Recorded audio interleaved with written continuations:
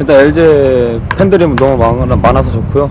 그리고 선배들도 너무 잘해주시고 어, 열심히 할 수 있어서 너무 좋습니다. 아마추어 때는요, 어, 뭐 지도자들이 좀 억압적으로 시키는 경우가 많은데요. 여기서는 각자가 알아서 해야 되기 때문에 그런 게 좀 많이 다르고요.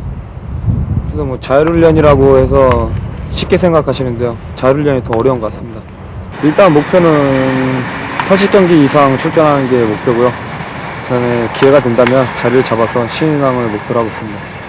제가 생각했는 것보다는 지금 다리 쪽에서 그러니까 후덕이 안 너무 마음에 들어요. 너무 마음에 들고 잡는 순간에 자세가 너무 안정적이라서 상당히 기대가 됩니다. 어, 그리고 조금 더 기술적으로 조금만 더 보완된다면은 유지현이를 이을 수 있는 대형 유격수로 클 것 같은 느낌이 듭니다.